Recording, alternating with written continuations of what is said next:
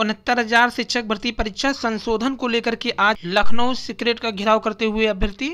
अभ्यर्थियों का कहना है कि मानवीय भूल माफ़ करो, नियुक्ति पत्र प्रदान करो। भारी संख्या में अभ्यर्थियों का जमावड़ा हो गया है सिक्रेट पर। लखनऊ में फिर वहाँ से ये लोग सिक्रेट की ओर कूच कर गए, जहाँ पर ये आवेदन पत्र लेकर के मानवीय भूल को माफ़ करने की मांग कर रहे हैं। आपको बता दें, उनहत्तर हज़ार शिक्षक भर्ती परीक्षा में त्रुटियों के कारण इनकी नियुक्ति पत्र रोक दी गई है, जिनकी संख्या हज़ारों से अधिक है, जो कि सिक्रेट लखनऊ में जमा हो गए हैं अभी लोग। बाद में ये सड़क मार्ग पर प्रदर्शन करते हुए सिक्रेट लखनऊ तथा वहाँ पर अधिकारियों को ज्ञापन देने के लिए पहुँचे।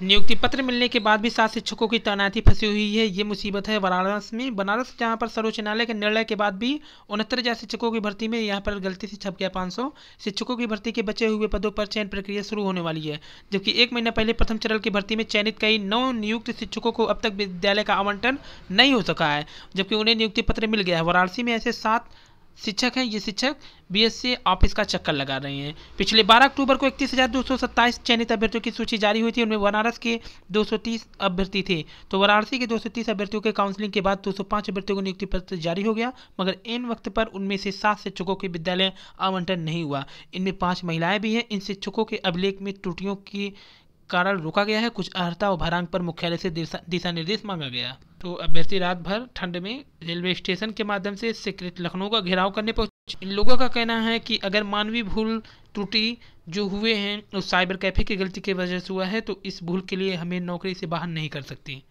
और यहाँ पर फोर्स भी तैनात है, भारी संख्या में अभ्यर्थियों की देखते हुए।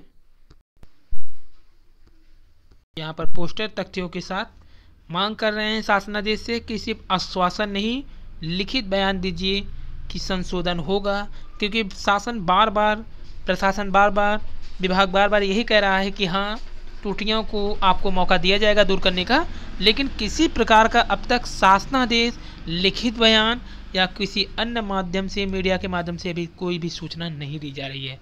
अभ्यर्थियों को लेट हो रहा है, प्लस उनकी भविष्य की भी चिंता सताने लगी है कि कहीं इन्हें बाहर न कर दिया जाए। शासनादेश जारी करने की मांग कर रहे अभ्यर्थी यहाँ।